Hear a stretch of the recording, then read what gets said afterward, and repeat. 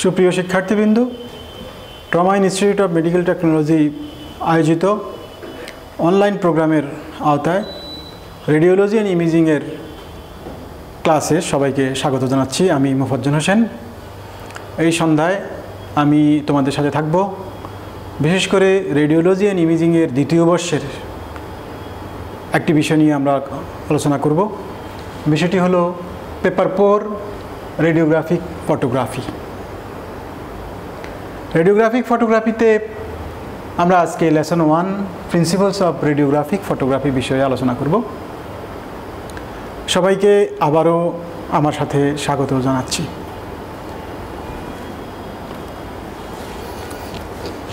Radiographic photography radiology and imaging একটি গুরুত্বপূর্ণ বিষয়। আমরা জানি রেডিওলজি অ্যান্ড ইমেজিংয়ের মূল বিষয় হলো ইমেজিং মানুষের বিভিন্ন অর্গান মানুষের বিভিন্ন সিস্টেম মানুষের বিভিন্ন ফাংশান, অর্গানের বিভিন্ন ফাংশান, রেডিওলজি, ইমেজিংয়ের মাধ্যমে তুলে ধরার যে প্রক্রিয়া, সেই প্রক্রিয়ার একটি অংশ হলো রেডিওগ্রাফিক ফটোগ্রাফি। তো রেডিওগ্রাফিক ফটোগ্রাফির আমরা আজকে যেই লেসনটা পড়ব, সেই লেসনটার অবজেক্টিভ হলো, কেন আমরা পড়ব? এই লেসনে আমরা কি কি শিখব এবং শিখে আমাদের কি হবে? সেই বিষয়গুলো আমরা আলোচনা করব প্রথমেই। আজকের এই লেসন যদি আমরা দেখি এবং লেসনকে আমরা ভালোভাবে অংশগ্রহণ করি লেসনে, তাহলে আমরা কি কি বিষয় সম্পর্কে জ্ঞান লাভ করতে পারব? এক প্রথমত হলো রেডিও, ডিফাইন ফটোগ্রাফি। আসলে ফটোগ্রাফিটা কি? ফটোগ্রাফির সাথে আমরা সবাই পরিচিত। আমরা সবাই প্রতিনিয়ত ফটোগ্রাফি করি, মোবাইল দিয়ে করি, ক্যামেরা দিয়ে করি যে কোনো অর্ডিনারি মোবাইলেও এখন ফটোগ্রাফি করা যায়। সুতরাং ফটোগ্রাফিটা আসলে কি এবং কেন করবি, কেন করি, কীভাবে করি, এটা আমরা সবাই বুঝি। ডিফাইন রেডিওগ্রাফিক ফটোগ্রাফি রেডিওগ্রাফিক ফটোগ্রাফিটা কি? রেডিও ফটোগ্রাফি একটা বিষয় যেটা সবাই করে বাট রেডিওগ্রাফিক ফটোগ্রাফি এটা কি এবং এটা কেন করব এবং কীভাবে করব, করতে গিয়ে আমাদেরকে কি কি বিষয় মেনে চলতে হবে, যেহেতু শরীরের ইন্টারনাল অর্গান যেগুলো আমরা দেখি না, সেগুলো আমরা ফটোগ্রাফির মাধ্যমে ভিজুয়ালাইজ করব এবং তুলে ধরবো এমনভাবে যাতে করে একটা পেশেন্টের কী সমস্যা আছে এবং কি ডায়াগনোসিস করতে হবে সেগুলো সুন্দরভাবে আমরা ভিজিবল করতে পারি।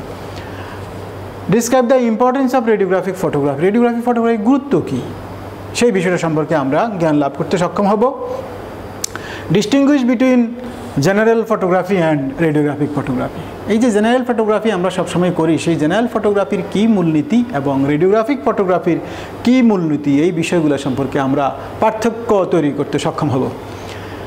Name the accessories of required radiographic photography radiographic photography করতে আমাদের কি কি লাগবে এবং কোন কোন বিষয় আমাদের ভূমিকা পালন করে সেই বিষয়গুলো সম্পর্কে আমরা আজকের লেসনে বিস্তারিত আলোচনা করব।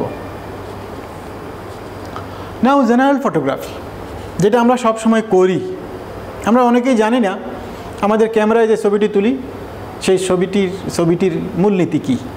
অথবা আমরা যে দেখি আমাদের চোখ যে দেখে, এই দেখার মূলনীতি কী?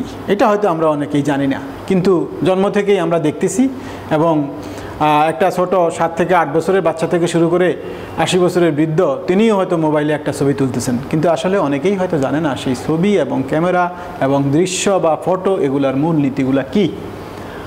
সো জেনারেল ফটোগ্রাফি বলতে আমরা কি বুঝি? General photography is the process to visualize anything by the reflection of light and graphical presentation তার মানে কি দাঁড়াল? জেনারেল জেনারেল ফটোগ্রাফির একটা পদ্ধতি, যেটা মূলত মূলনীতি হিসাবে কাজ করে কে? আলো। যখন কোনো বস্তুতে আলো পড়ে, আলো পড়লে আমার ক্যামেরায় বা আমার চোখে এসে প্রতিফলিত হয়। তখন আমরা দর্শনের অনুভূতি জাগে এবং আমরা বস্তুটাকে দেখতে পাই। আর ক্যামেরায় কি হয়? ক্যামেরায় যখন বস্তুটি থেকে আমরা দেখতে পাচ্ছি এখানে একটা বস্তু, এটা হলো লাইট সোর্স দ্যাট মানে সূর্য, এই অবজেক্ট দিস ইজ বস্তু, এই সূর্য থেকে আলো এসে অবজেক্টে পড়ল অবজেক্ট থেকে আলো এসে আমার চোখে পড়ল, তারপর আমি দেখতে পাচ্ছি। এখানে এই অবজেক্ট আসে বলেই আমি দেখি না। এই সূর্যের আলো এসে অবজেক্টে পড়ার পর আমরা বস্তুটাকে অবজেক্ট থেকে আলো গিয়ে আমার চোখের উপর পড়ার পর আমি বস্তুটাকে দেখতে পাচ্ছি। This is the this is the natural photography system আমরা প্রতিনিয়ত জন্ম থেকে মৃত্যু পর্যন্ত আমরা এইভাবেই আমরা দেখে থাকি।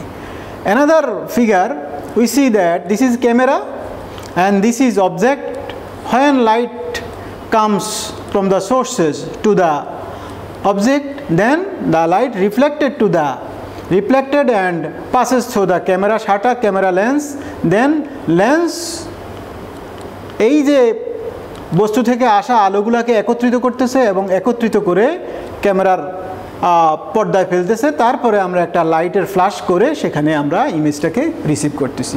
This is called photography so আমাদের চোখের মূলনীতি এবং ক্যামেরার মূলনীতি this is similar both are similar this is this is god gifted this is artificial process but এত যেই সহজে, যত সহজে আমরা কথাটা বললাম, আসলে কথাটা, বিষয়টা অত সহজ না, এখানে আরও অনেকগুলো বিষয় জড়িত, সেগুলো আমরা স্টেপ বাই স্টেপ আলোচনা করব।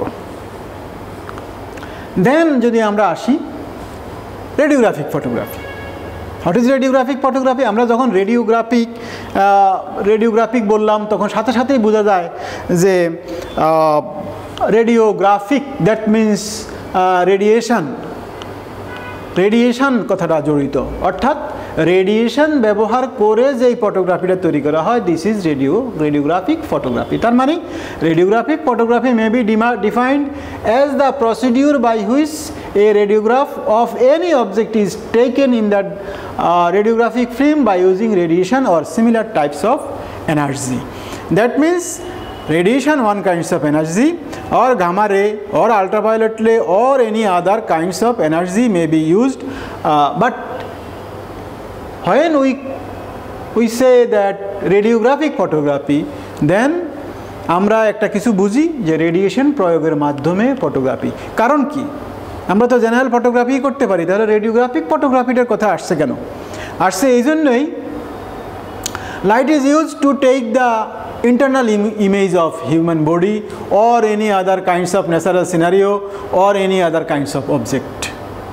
But radiographic photography is taken when our intention will be to take the image of internal organ of human body. যদি আমরা চাই আমাদের শরীরের অর্গানগুলো কেমন আছে সেখানে কোনো রোগ আছে কি না সেখানে কোনো অ্যাবনর্মালিটি আছে কি না সেখানে কোনো অন্য কোনো কিছু সমস্যা সৃষ্টি হয়েছে কি না যদি আমরা সেটা দেখতে চাই, তাহলে আমাদেরকে মানুষের শরীরের ইন্টারনাল ইন্টারনাল ঢুকতে হবে। মানুষের শরীরের অভ্যন্তরে প্রবেশ করতে হবে। But light can not passes through the human body আলো মানুষের শরীরে প্রবেশ করতে পারে না। আলো শুধু মানুষের বাহ্যিক ইমেজটা তৈরি করতে পারে by using reflection of light but in radiographic photography is no reflection but there is also some reflection when uh, the radiation passes through the human body. Radiation radiation human বডির ভিতরে পাসেস করার সময় কিছু প্রতিসরণ হয় কিছু ব্যতিচার হয় কিছু অ্যাবজারশন হয় কিছু অ্যাটেনিউশন হয়। এই বিষয়গুলো আমরা ধীরে ধীরে পরবর্তী ক্লাসগুলোতে আলোচনা করব। বাট আমরা সবসময় রেডিওগ্রা রেডিয়েশন রেডিয়েশন মানুষের শরীরের ভিতরে প্রবেশ করে যখন পাস করে যায় পাস করে যাওয়ার পরে এটা একটা ফটোগ্রাফিক ফিল্মের উপর পড়ে সেখানে একটা ইমেজ তৈরি করে। That means radiographic photography so আমরা এখানে দেখতেছি যে একটা ফিগার দেওয়া আছে। ফিগারের প্রতি যদি আমরা লক্ষ্য করি, তাহলে আমরা দেখতে পারব this is the source of X-ray this is patient and this is photographic plate so when X-ray comes and passes through the human body and after passing through the human body it interacts with the uh, radiographic photographic plate or maybe PSP or detector. After uh, the interaction of the, with the uh, X-ray film or PSP or the detector image is produced in the film or PSP plate or digital detector. Then it comes from PFC readout or if we are not using PSP, if we use manual radiography, we should be use X-ray film. So, uh, আজকে আমরা যেটা PPSP use করতেছি detector use করতেছি তার আগে কিন্তু আমরা অনেক দিন থেকে আমরা ব্যবহার করে আসছি এক্সরে ফিল্ম মেকানিক্যাল সিগন্যাল হিসাবে এক্সরে ফিল্মে উৎপন্ন হলো। সেটা আমরা কেমিক্যাল প্রসেসিংয়ের মাধ্যমে একটা ইমেজ আমরা তৈরি করতে সক্ষম। বাট বর্তমান সময়ে এখন এই পদ্ধতিগুলো ধীরে ধীরে ধীরে ধীরে চলে যাচ্ছে। এখন আসতেছে নতুন পদ্ধতি, যেটা হলো পিএসপি ফ্লেট পিএসপি প্লেটে যখন ইমেজটা হবে, সেটা আমরা কম্পিউটার রেডিওগ্রাফিক ডিভাইস ইউজ করে সেই ইমেজটাকে আমরা রিসিভ করব এবং কম্পিউটারের মাধ্যমে সেটা প্রসেস করে আমরা এটাকে প্রিন্ট আউট করতে পারব, অথবা প্রিন্ট আউট নিলে নিতে পারব, অথবা প্রিন্ট আউট যদি না নেই, তাহলে আমরা এটাকে পেন ড্রাইভ ইউজ করতে পারি সিডি ডিভিডি রাইট করে রিরাইট করে রাইট করে আমরা বিভিন্ন জায়গায় নিয়ে যেতে পারি। আমাদের ফিল্মে ফিল্মে এটাকে প্রিন্ট দেওয়ার অনেক সময় প্রয়োজন নাও হতে পারে। তো সুতরাং photography maybe uh, chemical screen film chemical film chemical system or maybe IP base or maybe detector base. So uh, at present in this modern universe we are using different types of technology different types of modalities different types of um, so we are changing we are running and we are uh, going ahead and আমরা এই যে running করতেছি, আমরা এইভাবে develop হইতেছে ডেভেলপের দৌড়ে নতুন নতুন প্রযুক্তি আসতেছে এবং নতুন প্রযুক্তি আসার ফলে আমাদের এই কাজগুলা ধীরে ধীরে কম্পিউটারাইজড হয়ে যাচ্ছে ডিজিটাল ডিজিটাইজড হয়ে যাচ্ছে এবং আধুনিকায়ন হয়ে যাচ্ছে। তাহলে এতক্ষণ আমরা যে আলোচনা করলাম, সেই আলোচনা থেকে আমরা কি দেখতে পাই? জেনারেল ফটোগ্রাফি এবং রেডিওগ্রাফিক ফটোগ্রাফির মধ্যে আমরা একটা পার্থক্য দেখতে পাই, যে আগে আমরা কীভাবে করতাম, এখন আমরা কীভাবে করতেছি। দুইভাবে, দুইটা বিষয়, দুইটা দুইভাবে। General photography produced by light আমরা প্রথমেই বলছি যে আলোর প্রতিফলনকে কাজে লাগিয়ে আমরা দৃষ্টি, আমাদের দৃষ্টি আমরা দেখি, চোখে দেখি এবং আমরা ফটোগ্রাফি তৈরি করতে পারি ক্যামেরায়। On the other hand radiographic photography produced by X-ray or radiation অর্থাৎ রেডিওগ্রাফিক ফটোগ্রাফি তৈরি করতে হলে আমাদেরকে সোর্স অফ এক্স রে লাগবে।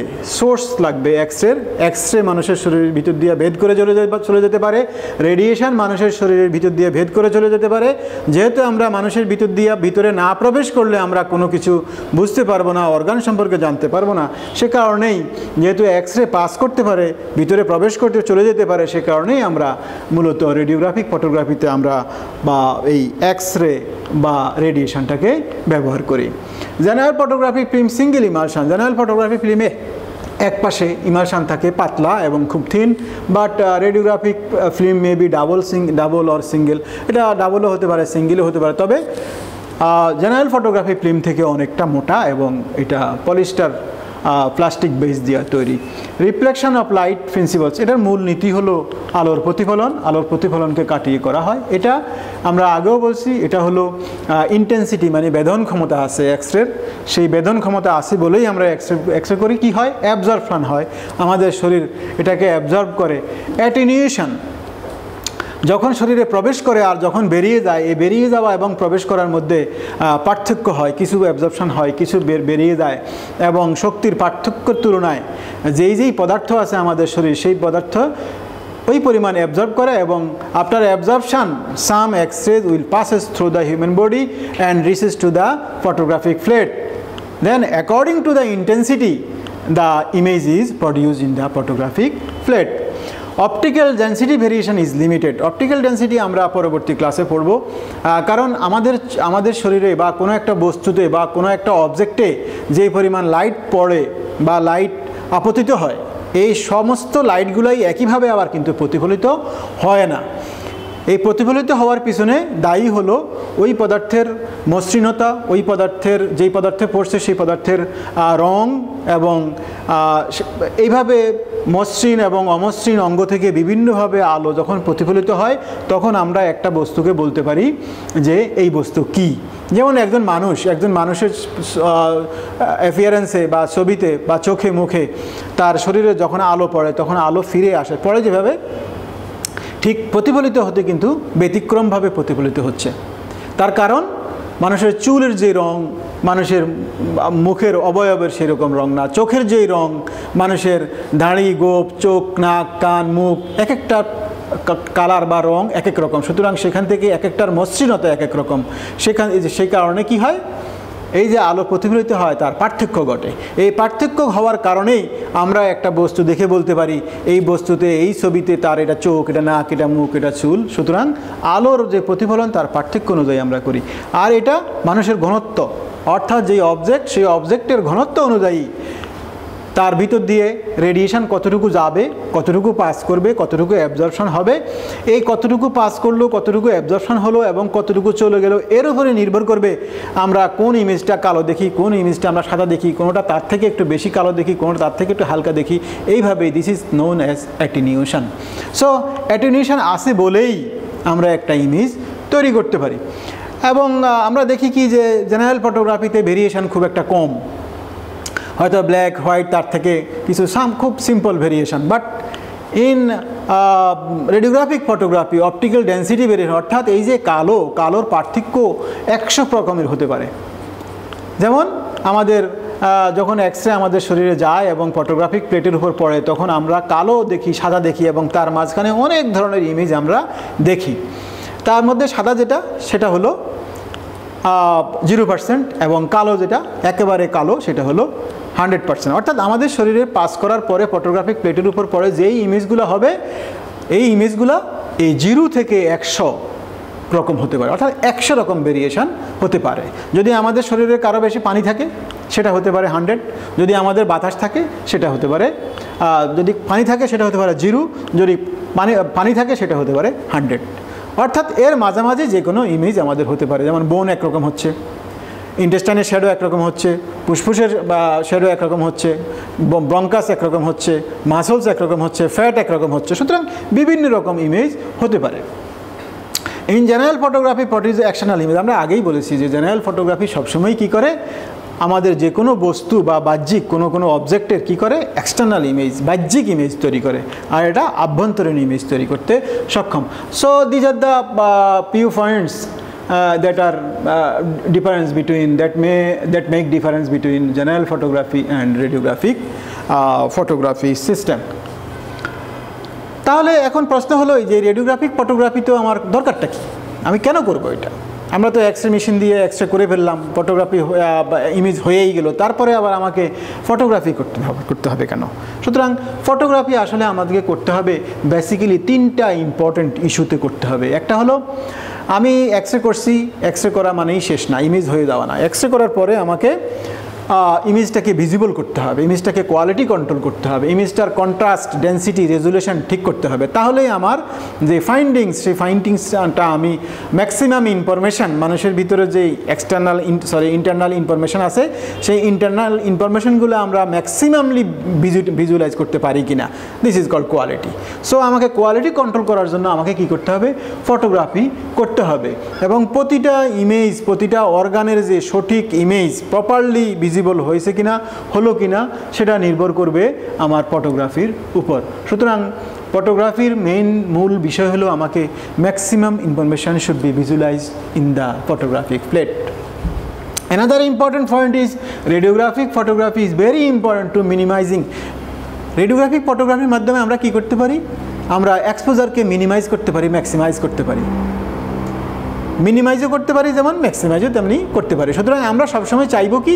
মিনিমাইজ করা। কীভাবে এক্সপোজার ফ্যাক্টর কমা দিতে পারি? কারণ আমরা যতই এক্সপোজার ফ্যাক্টর কমাবো, ততই পেশেন্টের রেডিয়েশনের ঝুঁকি কমে যাবে।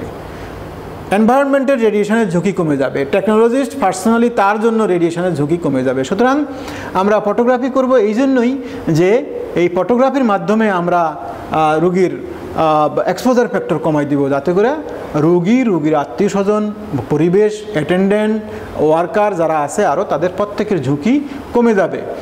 তিন নম্বরে যে ইস্যুটা সেটা হলো radiographic photography is to maintain cost effectiveness অর্থাৎ ফটোগ্রাফিটা আমরা স্ট্যান্ডার্ড হবে অপটিমাইজ হবে, তাহলে কি হবে? রিপিটেশন কমে যাবে। একটা ইমেজ আমরা বারবার যে নেওয়া রেডিয়েশন প্রয়োগ করা, সেটা কমে যাবে। সুতরাং আমি যদি ফটোগ্রাফি ভালোভাবে করতে পারি, তাহলে আমার কি হবে? এই যে রিপিট করা ইমেজ সেই রিপিট করাটা কমে যাবে। আর repetition is very very much hazardous then primary exposure আমরা একটা এক্সপোজার প্রথমে করব, তারপরে যদি আবার রিপিট করতে হয়, তাহলে দ্বিগুণ পরিমাণ রেডিয়েশন সে গ্রহণ করল। সুতরাং রিপিটেশন কখনোই করানো যাবে না, কখনোই করার চেষ্টা করা যাবে না, সবসময় চেষ্টা করতে হবে কীভাবে অ্যাভয়েড করা যায় রিপিটেশন সো রিপিটেশনটাকে অ্যাভয়েড করতে হলে আমাকে প্রপারলি রেডিওগ্রাফিক ফটোগ্রাফি করতে হবে। আদারওয়াইজ এই তিনটা পয়েন্ট যদি আমার লস করি, তাহলে আমার কখনোই রেডিওগ্রাফিক ফটোগ্রাফিটা হবে না। এটা গুরুত্বহীন হয়ে যাবে, তার ফলে আমার কোয়ালিটি নষ্ট হয়ে যাবে। কোয়ালিটি নষ্ট হয়ে যাবে মানে ইমেজটার মাধ্যমে যথাযথভাবে রোগ নির্ণয় করা সম্ভব হবে না। সুতরাং আমাদেরকে সবসময় গুরুত্ব সহকারে দেখতে হবে যে, আমরা সবসময় চেষ্টা করব যে, একটা ইমেজের কোয়ালিটি কীভাবে কন্ট্রোল করা যায়, যেটা আমাদের মূল উদ্দেশ্য হবে এবং যেটার মাধ্যমে সঠিক ডায়াগনোসিস করা সম্ভব হবে।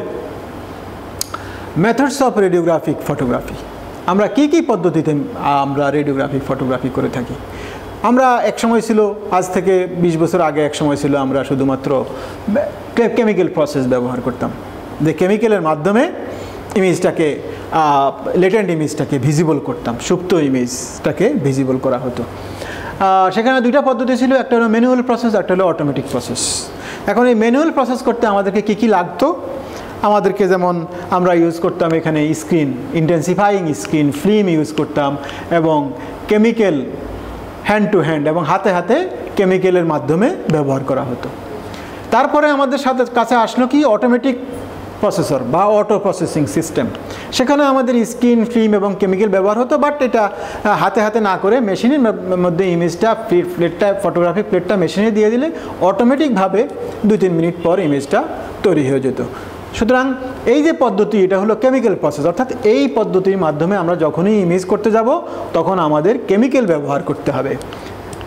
এখন নাও আমরা যেটা করি, আমরা বর্তমান সময়ে যেটা আসছে, সেটা হলো দুইটা পদ্ধতি, একটা হলো কম্পিউটেড প্রসেস যেটাকে বলা হয় কম্পিউটেড রেডিওগ্রাফি যেখানে কোনো কেমিক্যাল লাগে না, এবং এখানে আমরা যে ফিল্ম ব্যবহার করি, সেই ফিল্মও আমাদের লাগে না, এবং এটাকে বলা হয় আইফি বেসড ফিল্মলেস রেডিওগ্রাফি সিস্টেম। এখানে কোনো ফিল্ম নাই, এখানে একটা আইপি আছে, যেটাকে বলা হয় ইমেজ প্লেট অথবা এটাকে আমরা বলতে পারি PSP plate photo stimulable phosphor plate, অথবা আমরা সংক্ষেপে এটাকে বলতে পারি আইফি ফ্লেট, অর্থাৎ ফিল্মলেস রেডিওগ্রাফি। এখানে ফিল্ম কোনো আবশ্যক বিষয় না, ইচ্ছা করলে আমরা ইমেজটা হওয়ার পরে এটা ইন্টারনেটে দিয়ে দিতে পারি, ইচ্ছা করলে পেন ড্রাইভে নিয়ে নিতে পারি, ইচ্ছা করলে সিডি অথবা ডিভিডি রাইটারের মাধ্যমে রাইট করেও নিয়ে দিতে পারি। দেন আদার নিউয়ার মডালিটিস নতুন প্রযুক্তি, আধুনিক প্রযুক্তি হলো digital radiography system this is detector based radiography detector detector মানে কি? ডিটেক্টর মানে ডিটেক্ট করে, নির্দেশনা করে, খুঁজে খুঁজে বের করে। তার মানে কি? আমি কি এখানে লস করতাম? এখানে আমার হতো না? তারপরে এটা আসছে, এটাতে সমস্যা ছিল? এটাতে কি? তাহলে আমাদের সমস্যা ছিল বলতে ইনফরমেশনের দিক থেকে আমার এখানে আমি যে পরিমাণ ইনফরমেশন পেতাম, তার থেকে বেশি ইনফরমেশন আমি এখানে পাচ্ছি। তার থেকে বেশি আরও বেশি ইনফরমেশন আমি এখানে পাচ্ছি। But film IP detector all are detector but আমরা স্পেশালি আমরা ডিজিটাল রেডিওগ্রাফির সময় বলছি ডিটেক্টর কারণটা কি? কারণ হলো, এই ডিজিটাল রেডিওগ্রাফির মধ্যে আমরা যে পরিমাণ ইনফরমেশন পাই, যে পরিমাণ তথ্য পাই, মানুষের শরীরের ইন্টারনাল তথ্য, সেটা আমরা এই দুইটাতে পাই না। সে কারণে আমরা এটাকে বলছি ডিটেক্টর ডিটেক্টর মানে কি? ডিটেকটিভ মানে গোয়েন্দা। যেমন, পুলিশ ইনভেস্টিগেশন করে, র্যাব ইনভেস্টিগেশন করে, গোয়েন্দারাও ইনভেস্টিগেশন করে। তাহলে পুলিশ, র্যাব, গোয়েন্দা, এদের পার্থক্য কী? পার্থক্য হলো পুলিশের এক ধরনের প্রাইমারি ইনফরমেশান তারপরে সেকেন্ডারি তারপরে টার্সিয়ারি অর্থাৎ টার্সিয়ারি মানে যেটা সেটা গুরুত্ব বেশি এবং তারা নিগুড় তথ্য সূক্ষ্ম সূক্ষ্ম তথ্য ইন্টারনাল গোপন তথ্যগুলো তারা বের করে। ঠিক ডিটেক্টর মানুষের শরীরের আভ্যন্তরে যে ছোট ছোট সিগন্যালগুলা ছোট ছোট পদার্থগুলা, সেই পদার্থগুলোর থেকে যে সিগন্যালগুলো চলে আসে, সেই সিগন্যালগুলোকে সূক্ষ্ম সূক্ষ্ম সিগন্যালগুলোকে একত্র করে ইমেজ তৈরি করে বিদায়। এখানে ডিটেক্টরের মাধ্যমে তৈরিকৃত ইমেজ এই দুইটার থেকে অনেক বেশি ইনফরমেশন আমাদেরকে দেয়। সেই কারণেই দুইটার থেকে এই ডিটেক্টর ডিজিটাল রেডিওগ্রাফির গুরুত্বটা আমাদের কাছে অনেক বেশি। Uh, now will discuss how many accessories will be required to make radiographic photography. Radiographic photography করতে আসলে আমাদের কী কী অ্যাক্সেসরিজ প্রয়োজন হয় আমরা দেখতে পাচ্ছি এক্স রে ফিল্ম আর সিএল ফিল্ম যদি আমরা ম্যানুয়াল সনাতন পদ্ধতি ব্যবহার করি, যেটা আমরা আগের থেকে, অনেক আগের থেকে এই পৃথিবীতে ব্যবহার করে চলছি মেডিকেল সায়েন্সে ব্যবহার করা হচ্ছে, সেটা হলো এক্স রে ফিল্ম এবং কেমিক্যাল পদ্ধতি। অথবা আমরা সরি অথবা আমরা সিআর ফিল্মও ব্যবহার করতে পারি। সিআর ফিল্ম ব্যবহারের মাধ্যমেও আমরা ইমেজটাকে ফিল্ম প্রিন্ট আউট করতে পারি। সিআর ক্যাসেট অথবা জিআর ক্যাসেট কম্পিউটার রেডিওগ্রাফিক ক্যাসেটও ব্যবহার করতে পারি জেনারেল রেডিওগ্রাফিক ক্যাসেটও ব্যবহার করতে পারি। যেটা আমরা বলছি, যদি আমরা কেমিক্যাল প্রসেস ব্যবহার করি, সেখানে আমাদের ফিক্সার ডেভেলপার পরিষ্কার পানি, এগুলো আমাদের লাগবে। হ্যাঙ্গার লাগবে স্টেনলেস স্টিল মেড ট্যাঙ্ক কিছু ট্যাঙ্ক লাগবে, যেখানে আমরা ডেভেলপিং সলিউশন এবং ফিক্সিং সলিউশন তৈরি করব। তারপরে ফিল্ম ড্রায়ার সেই ফিল্ম আপনাদের ভিজে থাকবে, ভিজা ফিল্মটাকে আমাদেরকে শুকাইতে হবে, সেজন্য আমাদেরকে ফিল্ম ডায়ার, ড্রায়ার ব্যবহার করতে হবে যেটা সেফ লাইট সেফ লাইট ব্যবহার করতে হবে, যেই যেই সেফ লাইটের মাধ্যমে আমরা অন্ধকারে, ডার্ক রুমে কাজ করতে হবে সেখানে। ফিল্মটাকে দেখার জন্য এবং বিভিন্ন ভিতরে কাজ যেগুলো আছে সেগুলোকে সম্পূর্ণ করার জন্য এমন একটা আলো ব্যবহার করা হবে যেটা আমাদের ফিল্মের উপর কোনো ক্ষতি করবে না, ফিল্মটাকে, লাইটটাকে, লাইটের মাধ্যমে আলোটাকে বা ইমেজটাকে নষ্ট করবে না। কিন্তু আমরা ভিতরের অনেক জিনিসই সেই আলো দ্বারা পর্যাপ্ত পরিমাণে আমরা ভালোভাবে দেখতে পারব এবং আমাদের কাজ সম্পন্ন করতে পারব। সে কারণেই এটাকে বলা হয় সেফ সুতরাং safe light is called because it is safe to light safe to image safe to x ray film so CR machine লাগবে সিআর মেশিন দিয়ে আমরা এই সিআর ফিল্ম সিআর ফিল্মে যখন আমরা প্রিন্ট নিব আগে আমাদের সিআর মেশিনের মাধ্যমে আমরা ক্যাসেটটাকে আইপিটাকে আমাদের রিড করতে হবে। Then after completion the reading of the IP then image is produced in the unit and then it comes to the computer monitor. After post processing we can uh, print out uh, the uh, image by using CR film আমরা এটাকে print out করতে পারি অথবা আমরা computer থেকে আমরা ইমেজটা ইন্টারনেটের মাধ্যমে অথবা পেন ড্রাইভেও আমরা এটাকে নিয়ে নিতে পারি। Now radiographic film and CR film আমাকে ইমেজটা যদি আমাকে প্রিন্ট আউট করতে হয় তাহলে আমরা দুই রকম ফিল্ম ব্যবহার করি। একটা হলো রেডিওগ্রাফিক ফিল্ম রেডিওগ্রাফিক ফিল্ম হলো যেটা কেমিক্যাল আমরা বলছি কেমিক্যাল প্রসেস রেডিওগ্রাফিক ফিল্মে এক ধরনের কেমিক্যাল থাকে সিলভার ব্রোমাইড যেটার উপর আলোক সংবেদী। এবং যখনই এটার উপর আলো পড়ে, আলো পড়ার পর অথবা এক্স রে পড়ার পর, এটার যে সিলভার ব্রোমাইড আছে, সেখানে এক ধরনের ইমেজ হয়। ইমেজটা যখন আমরা কেমিক্যালে প্রসেস করি, তখন এই যে ইমেজটা হয়, সেটা থাকে লেটেন্ট বা সুপ্ত ইমেজ এটা দেখা যায় না। আপনার এক্সপোজার যখন ফিল্মে আমরা দেখতে চাইব, তখন আমরা এটা দেখতে পাবো না।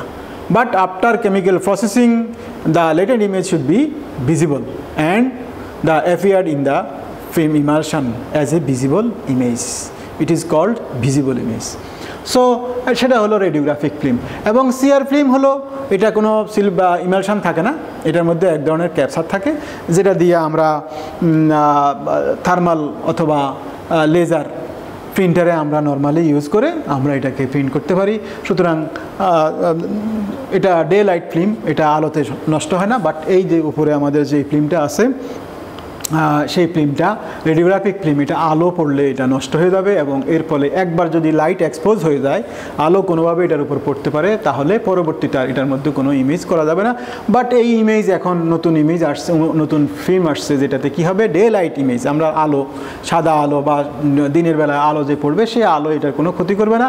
নর্মালি এটা ক্ষতি না করেই আমরা যদি ইমেজ এটাতে প্রিন্ট করতে চাই, তাহলে সিআর ফিল্ম আমরা লেজার ইমেজার অথবা থার্মাল ইমেজারের মাধ্যমে আমরা এই ফিল্মগুলা ইউজ করতে পারি। সুতরাং this is polyester plastic with silver bromide based image that is this is micro microcapsule base image film সুতরাং এখানে আছে মাইক্রো মাইক্রোক্যাপসার এখানে কোনো ব্রোমাইড নাই, আর এখানে হলো মূল বিষয় হলো ইমালশান সিলভার ব্রোমাইডের ইমালশান যেটা ইমেজটাকে রিসিভ করে। সো আমরা কনস্ট্রাকশন অফ রেডিওগ্রাফিক ফিল্ম আমরা এখন যেটা নিয়ে কথা বলব সেটা হলো construction of radiographic film radiographic film আসলে দুইটা দুইটা বিষয়, একটা হলো বেস একটা হলো ইমালশান বেস যেটা তৈরি সেটা হলো zero point two millimetre thick polyester polyester plastic polyester plastic জাতীয় পিচ্ছিল এক ধরনের film base thin film base এটা ব্যবহার করা হয়। যেটা আমরা ব্যবহার করব বা কয়েকটা কারণে, সেটা হলো এই ফিল্ম সাধারণত পানি পানি পড়ার ফলে এটা ফুলে ওঠে না বা সৈলেট হয় না ইনফ্লামেশান হয় না।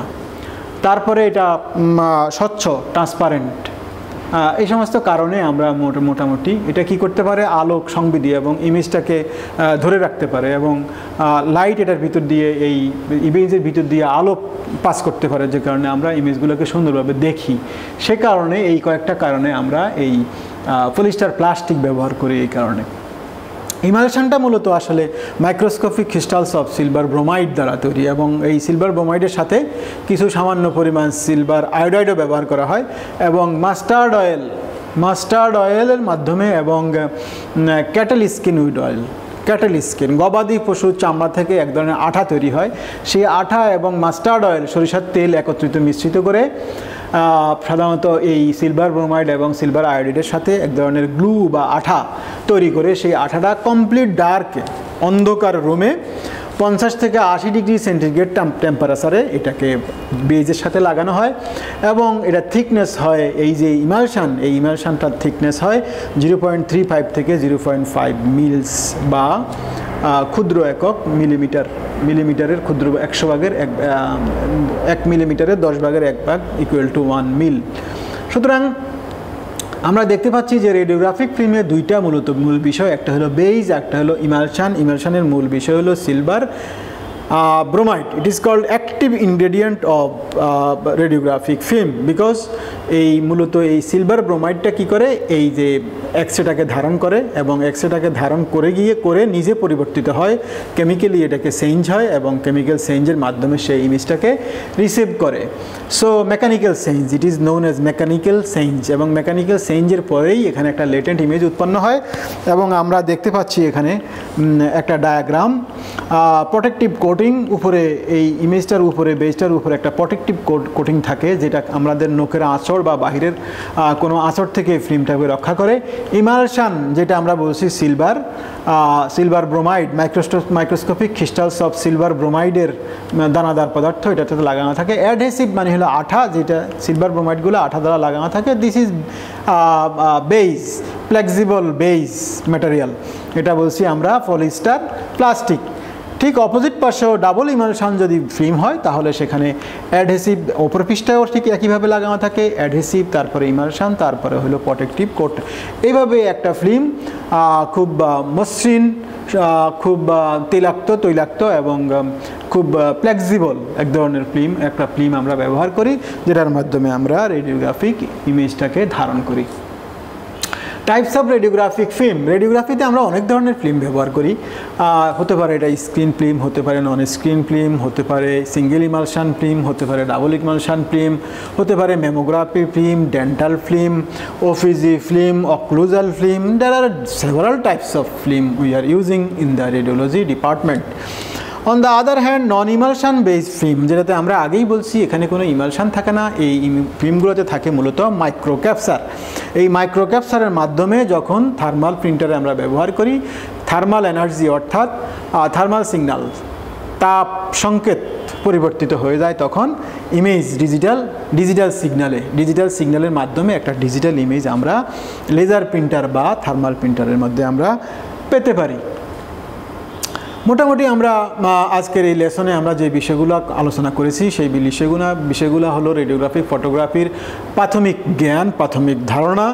এই প্রাথমিক ধারণা হলেও এই এই বিষয়গুলো থেকে তোমাদের পরীক্ষায় বিভিন্ন রকম প্রশ্নপত্র আসতে পারে।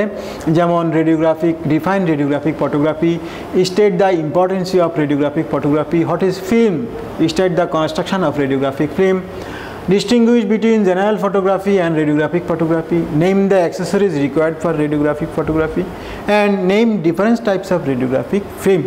So এই কোশ্চেনগুলো আশা করি তোমরা বিভিন্ন সময়ে পরীক্ষায় পাবে তোমাদের চূড়ান্ত পরীক্ষায় তোমরা পাবে এবং যেই বিষয়গুলো আমরা উপস্থাপন করেছি, যেই বিষয়গুলো স্লাইডে আমরা দেখিয়েছি, সেই বিষয়গুলোর সাথে এই কোশ্চেনগুলো সঙ্গতিপূর্ণ আমি আশা করি তোমরা ভিতরের বিষয়বস্তু থেকে এই কোশ্চেনগুলোর অ্যান্সার খুঁজে পাবে এবং তৈরি করবে এবং তোমাদের পরীক্ষার জন্য প্লাস ব্যক্তিগত জীবনে তোমাদের প্রফেশনাল পেশাগত জীবনে এই বিষয়গুলো তোমাদের কার্যকারিতা পাবে এবং উপকৃত হবা।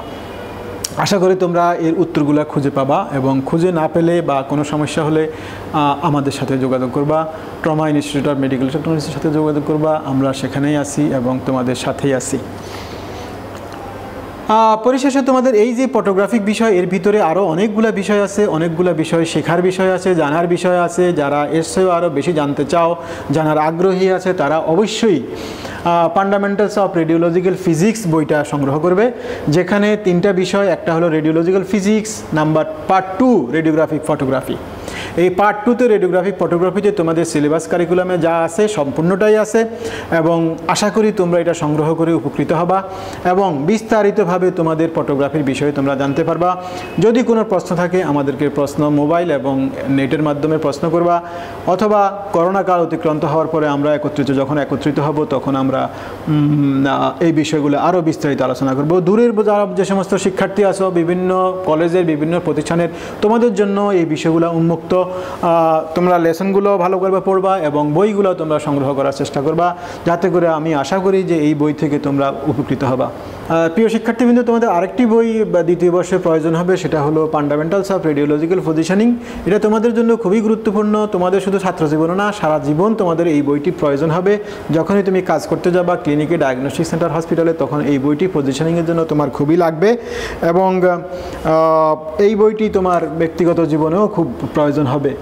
তো এই বইটি আমি এবং সারা বাংলাদেশে দশটা ইনস্টিটিউটের দশজন অভিজ্ঞ শিক্ষক আমরা একত্রে বইটি বের করেছি এবং বইটা Shaheen medical college centre, book centre, Shaheen medical book centre নীলক্ষেতে available পাবে।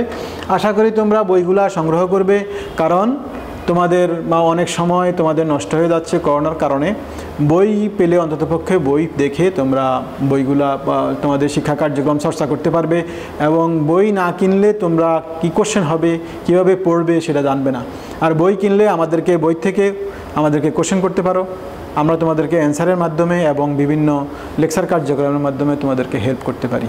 সুতরাং, যে যেখানে আছো বাংলাদেশের যে কোনো প্রান্তের শিক্ষার্থীবৃন্দু, তোমরা নিজেদের বই সংগ্রহ করবে, এই ক্লাসগুলো দেখবে ফলো করবে। এবং ক্লাসগুলোতে যে কোশ্চেনগুলো আছে, সেই কোশ্চেনগুলোর অ্যান্সার তৈরি করতে পারবে। আশা করি তোমরা, তোমাদের যে সম্মুখ সামনে যেই পরীক্ষা হবে সেকেন্ড ইয়ার ফাইনালে সেই সেকেন্ড ইয়ার ফাইনালে এখান থেকে প্রশ্নপত্র এবং উত্তরপত্র তোমরা তৈরি করতে সক্ষম হবে। যে যেখানে আছো, সবাই ভালো থাকো, সুস্থ থাকো, ট্রমা ইনস্টিটিউট অফ মেডিকেল টেকনোলজির সাথেই থাকো এবং করোনা মুক্ত থাকো। ধন্যবাদ সবাইকে।